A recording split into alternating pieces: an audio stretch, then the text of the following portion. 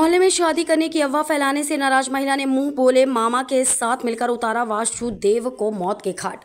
कोतवाली पुलिस ने किया अंधे कत्ल का पर्दाफाश किया एवं दस दस हज़ार के इनामी दो आरोपियों को गिरफ़्तार कर लिया है। छब्बीस मई को कोतवाली पुलिस को सूचना मिली कि बड़ौदी मौजा में एक व्यक्ति का शव पड़ा हुआ मिला। शव की पहचान वासुदेव पुत्र इमरत लाल धाकड़, उम्र बयालीस साल, निवासी रातौर हाल माधव नगर शिवपुरी के रूप में हुई। शव के सीने पेट में धारधार हथियार के घाव थे एवं गर्दन कटी हुई थी। आसपास खून बह रहा था, जिसके बाद कोतवाली पुलिस ने हत्या का मामला दर्ज कर विवेचना शुरू कर दी थी। पुलिस अधीक्षक अमन सिंह राठौर ने अज्ञात आरोपी पर दस हज़ार रुपये इनाम की घोषणा की। विवेचना के दौरान कोतवाली पुलिस ने मृतक के पड़ोस में रहने वाली महिला निवासी डिहरवारा थाना तेंदुआ का पर शक ज़ाहिर किया एवं घटनास्थल के रूट का पता किया तो पड़ोसी महिला भी घटनास्थल पर घटना समय पर होने की पुष्टि हुई। कल कोतवाली पुलिस को सूचना मिली कि उक्त महिला रामबाई धाकड़ पोहरी बस स्टैंड के पास, मामा होटल के पास भागने की फिराक में खड़ी है। तत्काल सूचना पर पुलिस बस स्टैंड पहुँची, जहाँ संदेही महिला मिली। महिला ने घटना करना स्वीकार किया।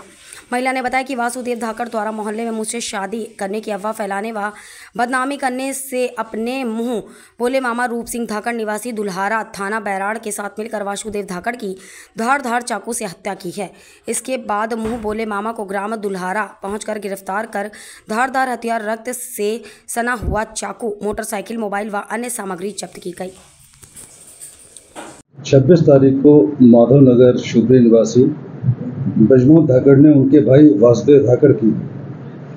25-26 की दरमियानी रात किसी अज्ञात व्यक्ति के द्वारा हत्या कर बड़ौदी मौजे के अंतर्गत नई मुरम रोड पर पेपर समा अंडरब्रिज के पास लाश को डालने की रिपोर्ट की थी। उसके आधार पर हत्या का अपराध पंजीबद्ध किया गया हमारे श्रीमान पुलिस अधीक्षक महोदय मौके पर पधारे थे। उनके द्वारा मौके का निरीक्षण कर हम लोगों को डायरेक्शन दिए गए थे। एक लाइन ऑफ़ इन्वेस्टिगेशन हमारे द्वारा तैयार किया गया। उस लाइन ऑफ़ इन्वेस्टिगेशन में टी आई साहब कोतवाली और उनकी टीम के द्वारा तत्परता से कार्रवाई करते हुए इस मर्डर को डिटेक्ट किया गया है। मर्डर में जो दो आरोपी थे, उनको गिरफ़्तार किया गया है। हत्या में प्रयुक्त उनके द्वारा जो चाकू था, उसको जब्त किया है। उन्होंने हत्या के समय जो कपड़े पहने हुए थे, जिस पर कि खून के सीटे आए थे, वो जब्त किए हैं। ये मामले को पूरा कैसे डिटेक्ट किया, इस बारे में मैं चाहूँगा कि टी आई साहब से मिला। प्रकरण को पंजीबद्ध करने के बाद सीमांत महोदय एवं एस डी पी महोदय के नेतृत्व में हमारे थाने से जो टीमें बनाई गई थी उसमें हम लगातार जो शहर के मुख्य मुख्य चौराहे थे उनके सी सी टी वी कैमरे की एक टीम लगाई थी क्योंकि कहीं मुखबिर से भी और जो स्रोत रहते हैं पुलिस के उनसे हमें ये बात संज्ञान में आई थी कि एक महिला इसमें इन्वॉल्व हो सकती है। उस पर बहुत सूचना से पूरा निरीक्षण किया गया और जब उसको पकड़ा गया तो उसके द्वारा अपना घटना करना स्वीकार किया गया। एवं घटना में जो घटना करते वक्त जो मृतक का मोबाइल था वो भी उससे बरामद किया गया है।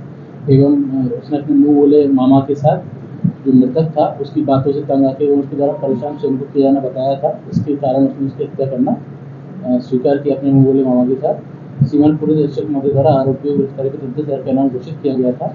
आज माननीय न्यायालय में उनको पेश किया गया है। कितने आरोपी हैं सर? उसके में दो आरोपी हैं।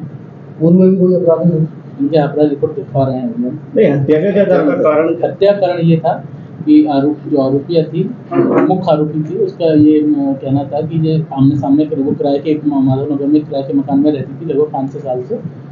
तो थोड़ा सा उनके कनेक्टिविटी थी आपस में बातचीत होती थी। धीरे धीरे उसका उसमें कुछ फ़ायदा उठा के उसको परेशान करने लगा था।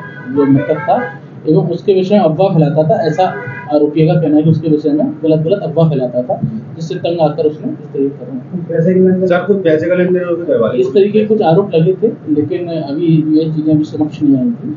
मुख्यतः जो बात सामने आई है कि वो मृतका को जो आरोपिया है उसको मृतक परेशान करता था बार बार तंग करता था इस तरीके की बातें था।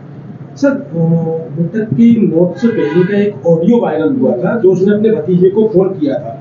और उसमें उसने बताया था कि मृतिका के साथ शराब है इस, ऑडियो को पुलिस ने इन्वेस्टिगेशन में लिया है।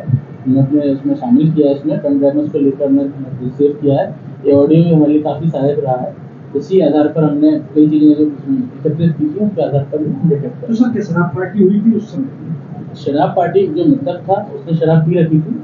आरोपिया से जो पूछताछ में बात सामने आई है तो उसने ये बात स्वीकार की कि शराब उसने उसको पिलवाई थी। स्वयं के द्वारा शराब पीना स्वीकार नहीं हत्या तो बड़ौदी का जो मोजा था जहाँ पर उसकी लाश मिली थी वहाँ पर वो उसको ले जाया गया था ये प्री प्लान था। वो पहले ही ले रहे थे अपनी मुँह वाले मामा को बता दिया था कि जब मैं फ़ोन करूँ तो तत्काल इस जगह पर आ जाना। घटना मोटरसाइकिल की पुलिस ने देखी।